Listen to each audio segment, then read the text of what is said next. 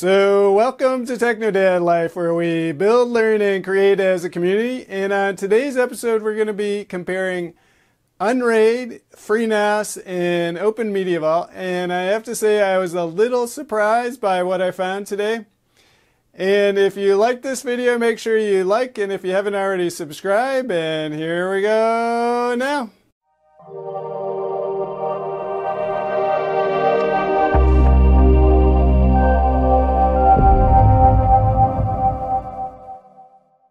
Okay, so let's get started talking about these three different systems. We have Unraid, we have FreeNAS, and Open Media Vault. And so just let's talk about some differentiations. Let's start with install. And so with FreeNAS and Open Media Vault, they just are a normal install, so a FreeBSD install for FreeNAS, and for Open Media Vault, a normal Linux install. Uh, the one that's different here is Unraid, and so Unraid uses a automatic installer. And so let's just take a quick look at that here. So if we bring that up, we can see it says Unraid USB Flash Creator. So now the thing about this Flash Creator is it will only work with specific flash drives. And so uh, I went on to the Unraid website and to the manual. And so the flash drives they recommend are a number of years old and you can't even buy them anymore. And so then I went into the forums and I searched different threads, uh, and basically some of them were helpful, some of them weren't. And so basically, I tried seven different USB drives that didn't work, and then I came upon three that did work. Unfortunately, these are not listed in the Unraid manual where you would think they would make it nice and easier to uh, do that. And what I found about the Unraid manual, it was a little outdated. Uh, the other manuals for FreeNAS and OMV uh, are up to date. So with Unraid, you actually have to spend more time in the forums to actually get started. Once you get the disk burn, then Unraid is actually very easy to set up. So if we take a look at the three UIs, uh, let's just go here. So Open Media Vault, you log in as admin, and you use Open Media Vault as the password. So admin Open Media Vault. Uh, FreeNAS is root and then the password that you put during install. And then uh, Unraid, you actually have to add the password after the server is already set up. Other thing about these is Unraid can only be installed to USB. Uh, Open Media Vault and FreeNAS can be both installed to either a SSD, a USB, or a hard drive, depending on what's available. Uh, I tend to install things to SSDs because they're longer lasting uh, than USB drives, but faster than hard drives. Uh, one of the things that you see on the Unraid forums, and they have some tutorials, is you have to back up your USB drive because they tend to fail about every six months, which isn't very convenient. And now if we look at the UIs, so here's Unraid and then Open Media Vault and FreeNAS. These are the screens that they open to. Uh, Unraid, the top looks nice here, but the information is not very pretty is a good way to put it. And even the main dashboard, uh, it's not very uh, user friendly to find things easily. Uh, the, I find the type small and hard to read even though I'm on a big monitor. Unraid when it was designed is all about the array and so you can see in both the dashboard here it's all about the array and then over here on the main page it's all about the array too. Uh, Open Media Vault, uh, some basic information tells you your services are up and running. You can find everything over here on the sides. Uh, FreeNAS, basically the same, just two different themes. So again, basic information about our system and memory usage, which is nothing at the moment because we're not doing anything. And again, a nice folder structure here on the side to find things quickly and easily. Once we go over how pretty things are, then uh, on Unraid, setting up users is simple. Settings are easy to find. Plugins, you have to use the add community applications to get plugins. So plugins, Docker, VMs, and tools are right at the top there. So open Media Vaults. So again, we have uh, plugins, Docker, VMs, which are managed by VirtualBox. And then uh, you can actually, you have a list of your VMs here in the virtual machine tab here.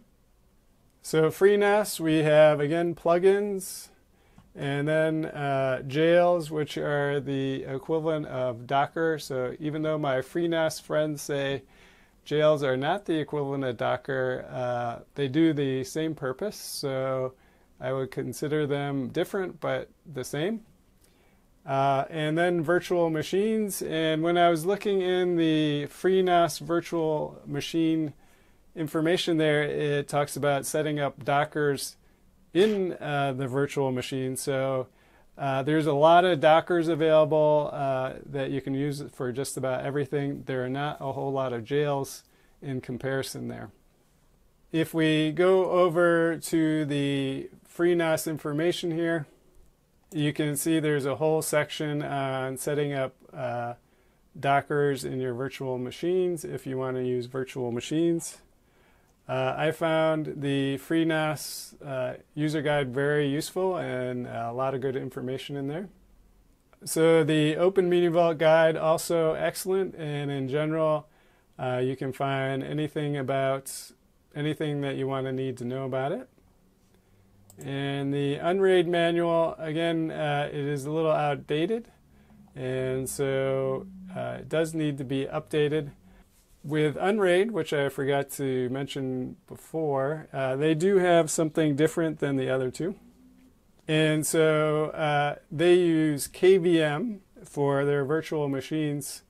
So that means you can pass through hardware, and so you can pass through a graphics device uh, easily. So basically, uh, you would just assign the graphics device to your VM then you could be running both a desktop and a server on the same machine. Uh, this is good if you have a high powered machine, but if you have a low powered, always on machine, uh, you probably don't want to do that. But it is an option if you do want to do that. Next, uh, we'll go over to the forums. And so the Open Media Vault forums very friendly, uh, all volunteers, so you have to be patient uh, maybe your question won't be answered right away, but usually many people will try after a while. The FreeNAS forums also very helpful. There is a stress on professional grade server equipment, so sometimes people will just suggest that you get a different server if you don't have, uh, you know, professional hardware server stuff. So a little unhelpful there. Finally, the Unraid forums, I found them very helpful. Uh, like I said, I had to search for those um, USB drives, and there were basically lots of suggestions for those, and I found a few that worked. So, one thing uh, before we move on that Open Media Vault does different than FreeNAS or uh, Unraid is that it's able to run on virtually any kind of computer hardware. Open Media Vault is based on Debian, and so Debian has been ported from everything from a Raspberry Pi to you know a super supercomputer and everything in between. FreeNAS is limited to x86 machines, as is uh, Unraid, as far as I know.